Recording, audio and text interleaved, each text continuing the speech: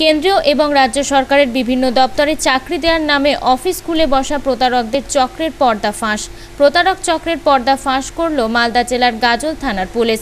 Police সূত্রে জানা যায়, গোপন সূত্রে খবর পেয়ে গাজলের নয়াপাড়া শিক্ষকপল্লী এলাকায় হানা দিয়ে গ্রেপ্তার করে প্রতারণা চক্রের ৩৫ বছরের সন্তোষী বারুই নামে এক মহিলাকে।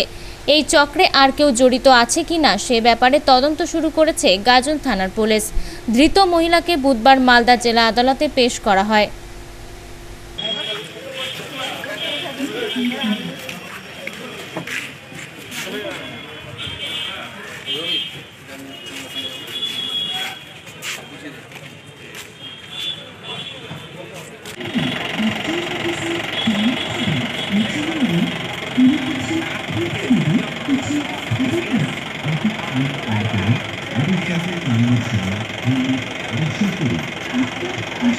মালদা থেকে দেবাশিস পালের রিপোর্ট, আনন্দ বার্তা।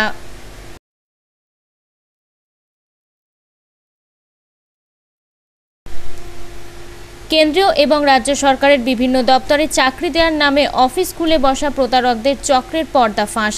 প্রতারক চক্রের পর্দা ফাঁস করল মালদা জেলার গাজল থানার পুলিশ। পুলিশ সূত্রে জানা যায়, গোপন সূত্রে খবর পেয়ে গাজলের নয়াপাড়া শিক্ষকপল্লী এলাকায় হানা দিয়ে গ্রেপ্তার করে প্রতারণা চক্রের ৩৫ বছরের সন্তোষী বারুই নামে এক মহিলাকে। এই চক্রে আর কেউ জড়িত আছে কিনা সে ব্যাপারে তদন্ত শুরু করেছে গাজল থানার পুলিশ।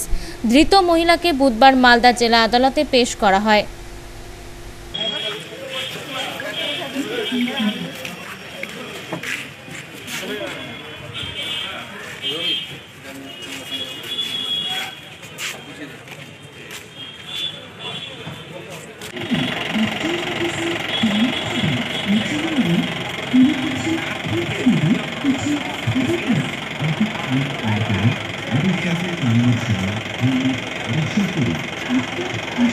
মালদা থেকে দেবাশিস পালের রিপোর্ট আনন্দ বার্তা।